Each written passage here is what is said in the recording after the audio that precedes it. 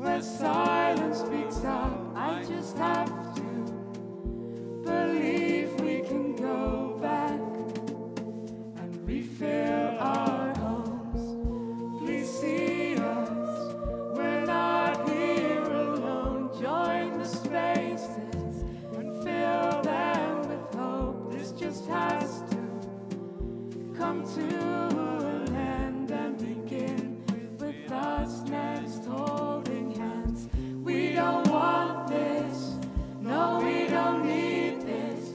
just make sure that we can